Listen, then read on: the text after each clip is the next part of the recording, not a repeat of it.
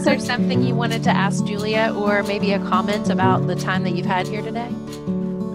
Well, I am just super like thanks both, and I'm I'm really glad I just followed this intuition today and without any expectation because this is just such a beautiful, beautiful, beautiful space to enter into, and I'm really excited to join the course because I just feel all of the abundance of healing and deeper exploration to come. So I'm just excited.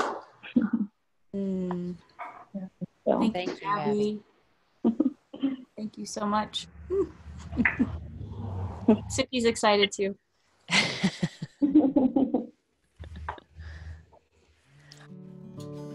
You can find Julia at theflyingcat.net. Her email is info at theflyingcat.net.